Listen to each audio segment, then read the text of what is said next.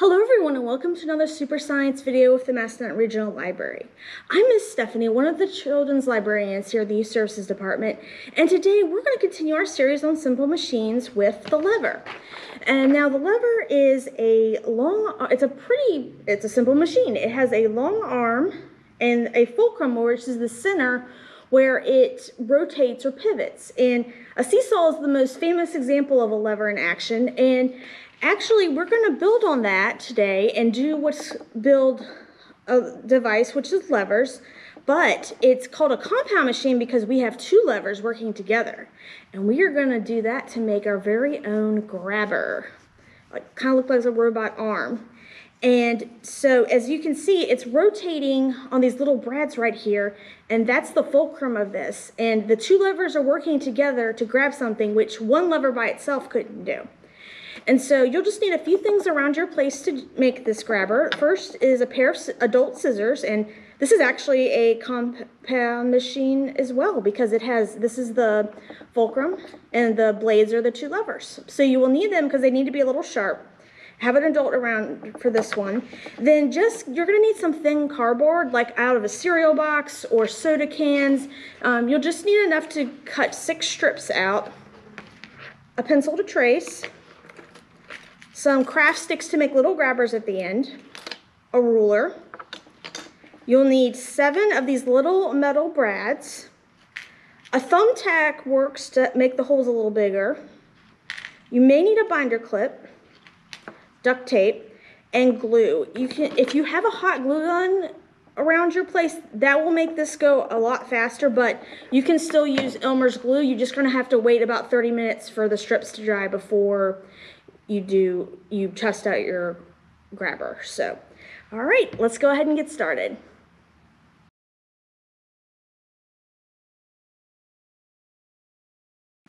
Okay, so we're going to go ahead and make the lever part of our robot arm grabber. And so we'll have the ruler, the cardboard, pencil, and some sharp scissors. I have an adult around for these.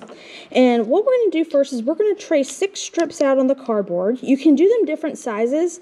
But I'm going to do the size that I found that worked the best for me. So we're going to start by measuring. Hold the ruler down. Let me flip it over actually for a second because we're going to do 10 inches long. So I'm going to make, go to the 10 and go all the way down to the zero. Now, the width of the ruler is about an inch and a fourth, so it made a good, good width for our grabber. So I'm going to come over here start at the 10, go all the way down. And then, oh, it's actually exactly one inch and a quarter. So then I'm going to just do another line so we know where to stop. And this will be three strips. You're probably going to need another thing of cardboard. I actually have mine right here to make the other three strips. But I'm just going to show you how to make one right now. So then we're going to cut it out have an adult around. So trim this off, then cut up.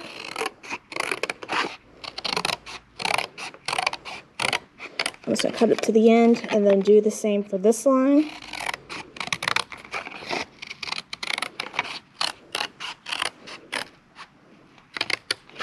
Okay, and then go across. All right, oh, need to cut this a little more. So look. All right, and I'm gonna put these aside. You're gonna be doing the same thing for all six of your strips. Now, take the first one and you're gonna make it so the ends touch together like this. And then carefully fold it in half. Now, if you use the hot glue gun, this part won't take very long, but if you don't have a hot glue gun, Elmer's glue works great. It's just going to take about maybe 30 to 40 minutes to dry. So then we'll reopen our strip and we'll put some in here. Just a light layer, not too thick so it doesn't leak out, but enough that it'll stay shut. And then we'll close it together. And then to help it press together when it dries, I found that these little binder clips are really helpful. You could also put a stack of books or other heavy objects on top of them as they dry. So uh, so let's come back in a few minutes after I've made all my strips and they've dried.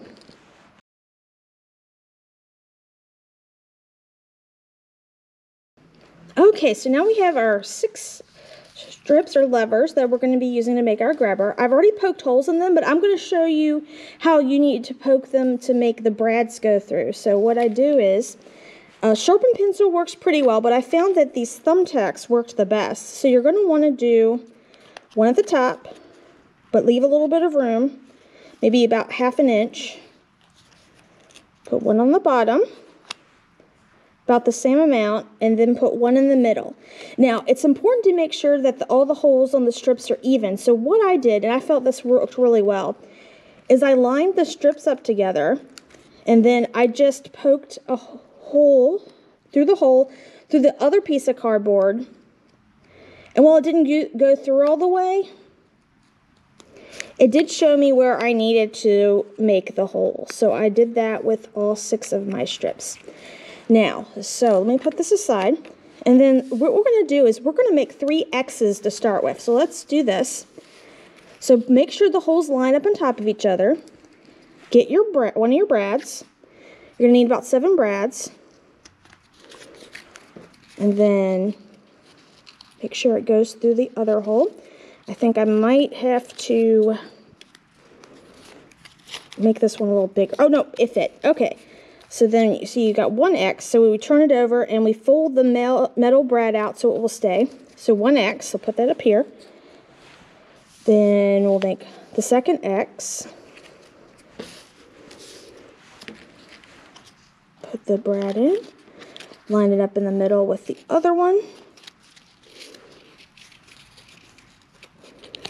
There we go. Turn it so it looks like an X and then flip it over. There's our second X. I'll stack it up here. And then finally, our third one.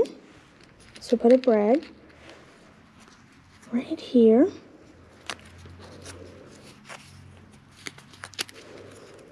Okay. And here is our third X. Now, what we're going to do is we're going to line these up like this, and we're going to connect them in these two places right here together with the other four brads. So let's see, let's put this one aside. We'll start with the back one. So the ends are not gonna have brads in them, just the middle ones. So let's start with this. So we'll put the brad in. You want the middle one to be on top of the one on the left side. Put it in there. There we go. Sometimes it may take a while to get through. And then make sure, there we go. And then put the, pull the brad so it's out so it will stay in place. Then line up these two right here.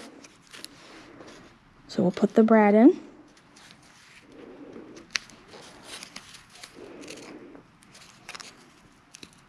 Okay, and flip it over. Make sure that you open the brad May take a while. There we go. I had to use my fingernail. So this is the first part, and then we're going to do the same thing from the other part. And what we'll do is we'll line it up. So this is, the top is on the top and the bottom is on the bottom below the middle portion. So we're going to put this brad in, put it in here, flip it over, make sure it goes out. Oops, sorry, hit the camera by accident. Then we're going to do the same for this side.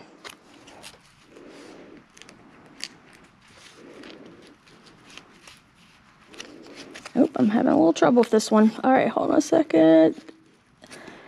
Okay, I'm going to have to use my thumbtack to make this hole a little bigger. I didn't make it quite big enough. And it should fit this time. Yes, there we go. That was the trick. And then flip it over and make sure that the metal part is open. So you have the grabber and it works pretty well, but it doesn't look like it would do a great job of lifting anything. So what I would suggest doing is, I'm using craft sticks, but you can try different things around your place. Paper clips, maybe.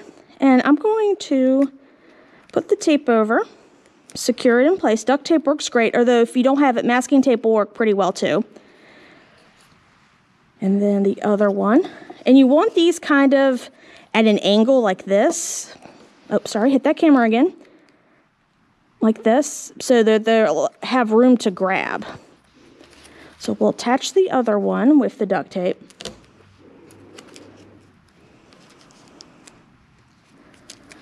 All right, and yes, this looks like it might, I might have to move them a little farther apart. Hold on. So let's see. Okay, oop, got, that's even closer. That's not what I meant to do. Okay, there we go. That's better. And then, let's see. And then I'm do the, do the same thing for the other side.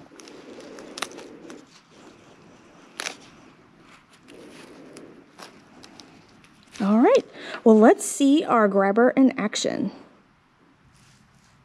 All right, it's time to test our grabber out. I have a few things here. I have a stuffed monkey that I found, a tissue, and a book holder to hold books on display.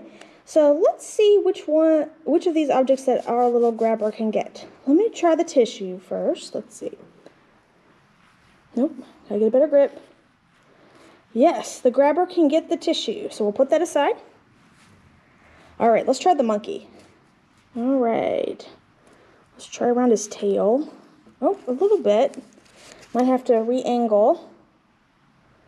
Can get him maybe around the neck. Not really. Um, it may take some time, and I may need to put something else on the end to make it more accurate to grab. I'm going to try one more time, and then we'll...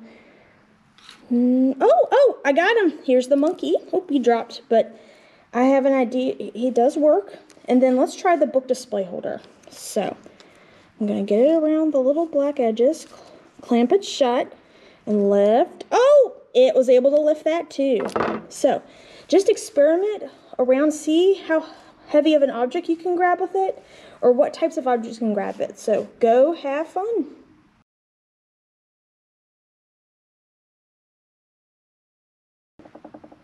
All right, well, I hope you enjoyed making your robot arm grabber and just experiment with it, like adding stuff like more craft sticks or paper clips just to see how it can be better at lifting things up or even heavier objects up. And I'm just going to finish up with a few books that I used when I was making this video. The first is Robots and Drones. This is part of our science comic series, and since we made a robot arm, I thought it would be cool to learn more about them. And I learned that there's some things that are, all around us that are robots, like a thermostat, which changes the temperature without us having to do anything, a coffee machine, one of those little vacuums that goes around the floor. And this just talks about the history of them and also drones, which we sometimes see in the sky. And I like it because it's a story of um, two kids trying to figure out how robots came to be. And so a lot of great information in here. I think my favorite part in the is in the back where it does a visual timeline of some of our most famous robots and satellites. So I would just highly recommend this if you're interested in learning more about how robots work and history behind them. And also, I, this is more of a fun book, but it's still very good. It features one of our famous compound machines, the scissors, which are two levers put together. And it's called The Legend of Rock, Paper, Scissors. And you may have played that game before, but did you know that there is an interesting story of how it came to be? And this book will explore that story, how the three came together and it's just really it's just really a fun story and if it's you can read it more than once because if you look at the pictures carefully there's like little funny things that you may not have noticed the first time so i will not spoil the ending for you but just know that this is a story worth worth reading. So thank you again for joining me for another super science video. I look forward to sharing more experiments with you soon. Have a good day. Bye